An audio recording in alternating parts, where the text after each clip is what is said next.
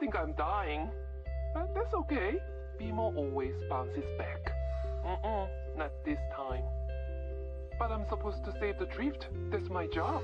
Now your job is to be dead. Oh no. BMO, you can get through this. Really? Just kidding. You are not a hero. You, are, nothing but a little kid, BMO. Oh. No. BMO always bounces back.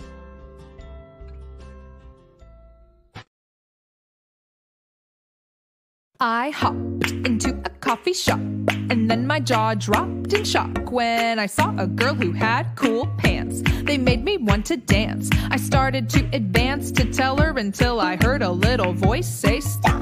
You're gonna make it weird for everyone in here, and you're gonna break her flow, so you better just not. I said, You're really dumb. And then she looked that I was telling her that she was really dumb. I started to explain, and then I said, I love your pants, and I was previously talking to my brain. She said, I understand. I made this pair of pants by hand, and I believe that it is time for us to dance. And that is what we did. We had a great time, and all because I'd given a stranger a compliment.